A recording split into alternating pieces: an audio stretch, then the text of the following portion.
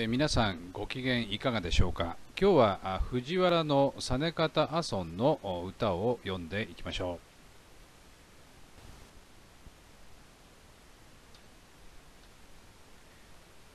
う。え名前の右側に書き込みがありますね。拡大して読んでいきましょう。これは、えー、ふで書いてありますね。ふそしてこれはちですね。次はカタカナの「ハ」に見えますが「八」という漢字を崩したもので「ハ」と読みます。これをにょろっとしたものですね。これは「ラ」と読みます。これは「の」ですね。さあこれはこれはですね「さ」と書いてあります。そして大きく書いてありますね。これは「ね」です。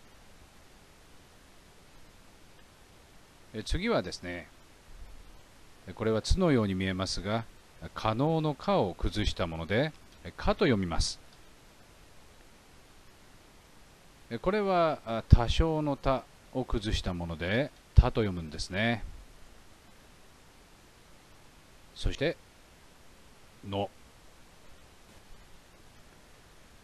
これはですね左側のあの斜めの線を取りこぼしてはいけません。これは「あ」という漢字で「えーあ」と読みます。この部分はですね斜めになってますがこれは「そ」と読むんですね。目を細くしてみてください。これは大きな形ですが「ん」「あ」そ「ん」え本文の方です。これはですね、えー冠が「つ」のようですが、あれは門構えの、まあ、崩れたものですね。下に「木」とあります。ですから、え感性の「感」「か」と読みます。え次は「く」ですね。そして、これは登山の「と」「登る」という漢字を崩したものです。右へ行って左に行く。これは「多い」という漢字を崩したもので「た」と読みますよ。そしてこれは「に」。これは「絵」ですね。ちなみに「衣」という漢字を崩すとひらがなの「絵」になります。これは「や」。え助詞として使われることが非常に多いですね。盤石の盤、濁点を取って「は」と読みます。えこれは人弁のようですね。え伊藤さんの「い」でしょうか？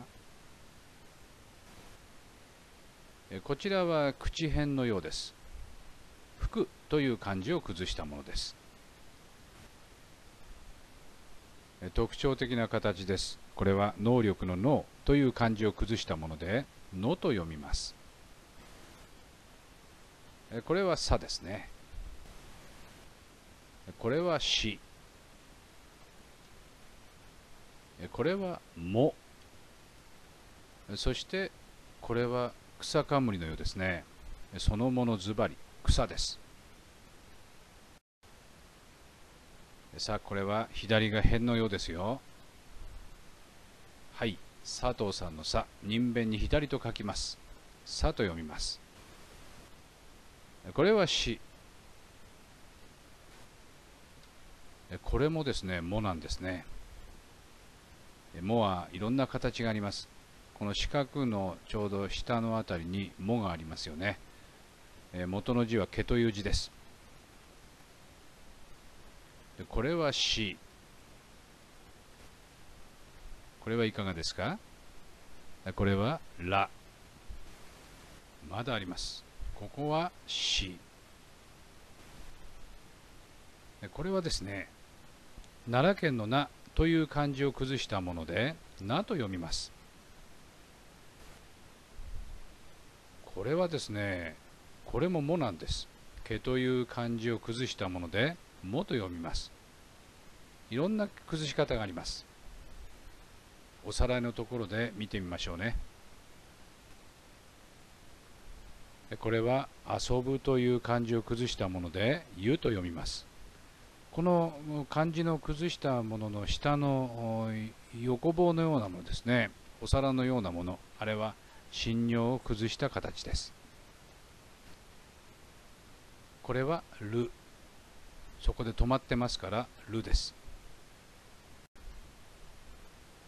これは心の上に何か乗ってると思ってください。何でしょうね。田んぼの田でしょうか。よって思うという漢字です。これはるではありません。上はるですが上上にその思うという漢字の上にあるのがるですがこれは次の字に続こうとしています。これは日にちの日日付の日ですね。日という漢字を崩したもので日と読みます。最後はお。ですね。お、えー、これまで、えー、読んできたものを書いてみます、えー、このようになっておりますが読みやすくしてみますよ。書くとだにえやはいぶきのさしもぐさ今度は下の句です。同様に読みやすくしてみますよ。さしもしらじなもゆる思いをとなります。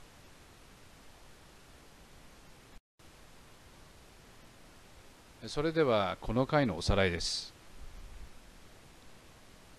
まずこれはカタカナの「は」に見えましたが「八」という漢字を崩したもので「は」と読みます。八の葉は。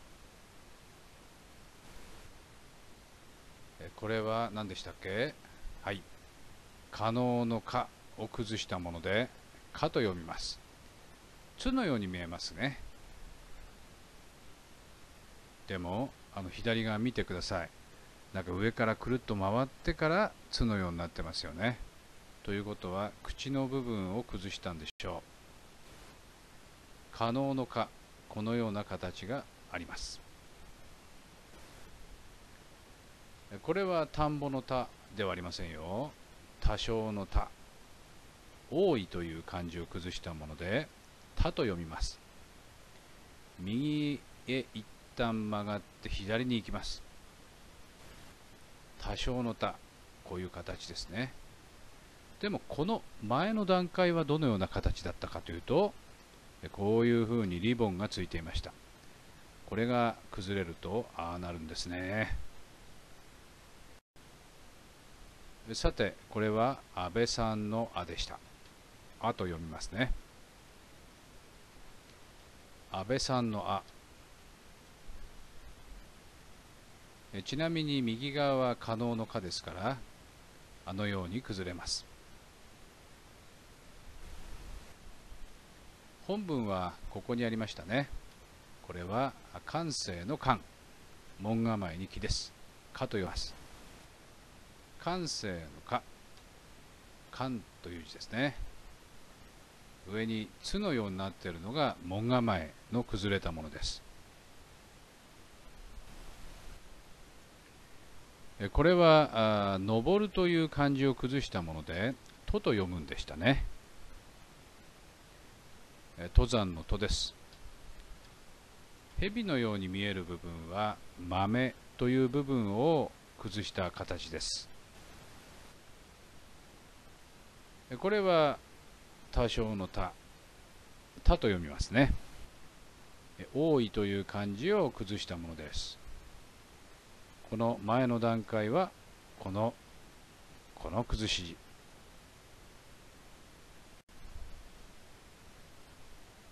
これアンテナがついてて空飛ぶ円盤みたいですね。円盤の盤。濁点を取って「は」と読むんでしたね。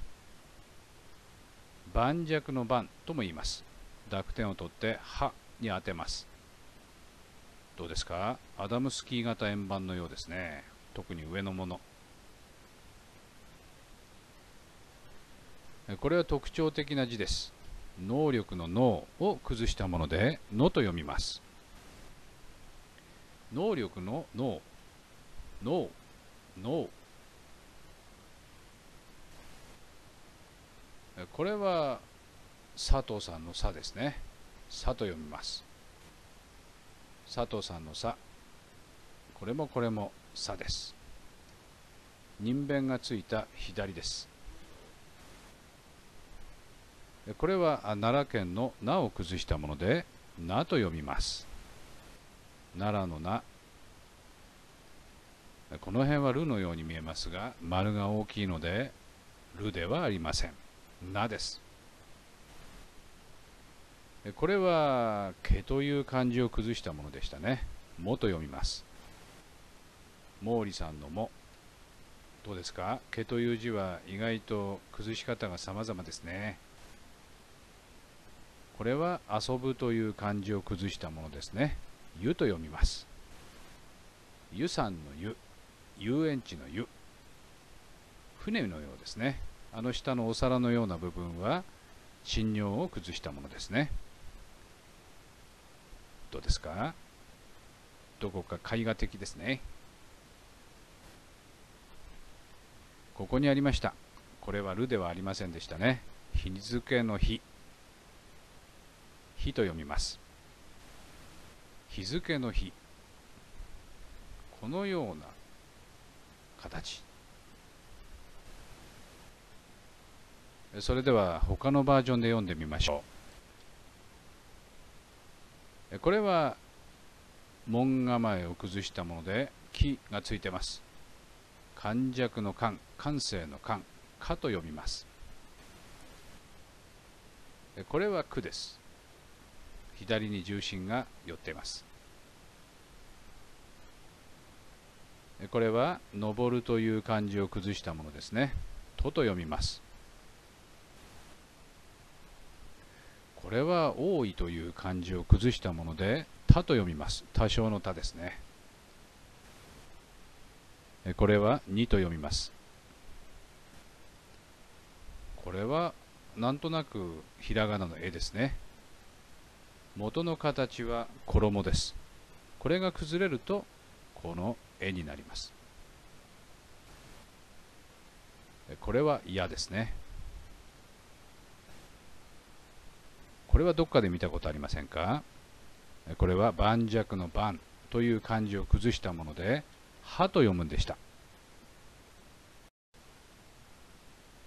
これはですね、川ではありません。ちょっと一番右側の線がですね、外側に行っちゃってますね。以上の「い」です。これが崩れると、ひらがなの「い」になります。左下にぐっと伸びてますね。これは「ふ」。これはですね、急いでいくと「よ」と読んでしまいますが、これは「支える」という字なんです。そして読むときはですね、木なんですよ。人弁がつくと歌舞伎の木、手辺がつくと技術の技となります。まあ、支えるというパーツはですね、木という音を表していたんでしょうね。これは能力の脳です。のと読みます。そしてこれがさですね。これはしです。これはいかがですか？これはも。これはく。そして縦に長いですが、これは左という漢字を崩したものですね。ということは読むときはさ。今度はここに行きます。えー、これは人弁に左です。佐藤さんのさ。さと読みます。そしてこれは死。これはですね「毛」という漢字を崩したものです。ということは仮名として使われていますので「も」と読みます。これは「し」ですね。これはどうですか「ら」ここ文字ですね。これも「し」意外と伸ばしているところは死じゃないかと思ってください。これはレではありませんよ。左側の部分の線が多いですよね。ということは画数が多かったということです。元の漢字はこれです。那須高原のな、なと読みますよ。次はどこでしょう？ここです。え、これも毛という漢字を崩したもので、もと呼びます。いろんな崩し方があるでしょうその斜め下のも、えー、その、え、上の方にもありますね。これは「ゆ」です。ちなみに、え、ひらがなの「ゆ」は元の字は理由の「ゆ」です。由美子の「ゆ」。ちょっとうつむいてますが「る」です。がっちり止まってますね。これは「思う」という字に見えませんか？これ「火」です。そして最後は「を」。お疲れ様でした。次回は藤原の道信阿尊の歌を読んでいきましょう。今日はちょっと駆け足でしたがごめんなさい。いろいろありまして。それでは皆さん、またお会いしましょう。さようなら。